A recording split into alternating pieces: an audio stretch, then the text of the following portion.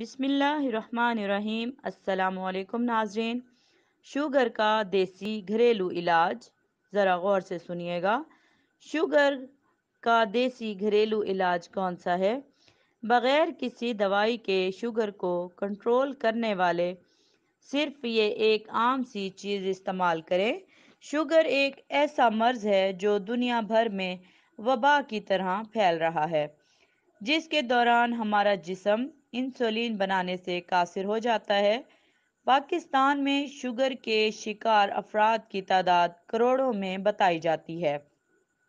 ये एक ऐसा मर्ज है जिसके शिकार अफराद एहतियात ना करें तो इन्हें दीगर बीमारियों को सामना भी करना पड़ सकता है।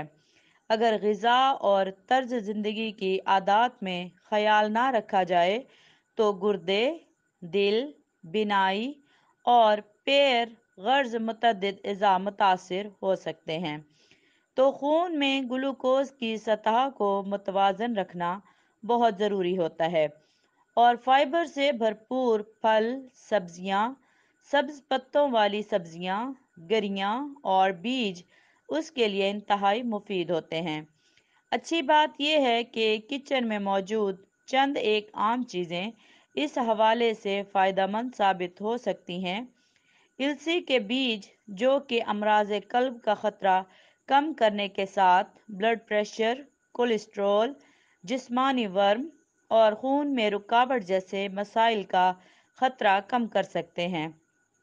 इनमें मौजूद प्रोटीन जिस्मानी वज़न कम करने या मसल्स बनाने में भी मदद फ्राहम करते हैं। इन तमाम फ़वाद से हटकर ये बीज शुगर को कंट्रोल में रखने के लिए भी फ़ायदेमंद है।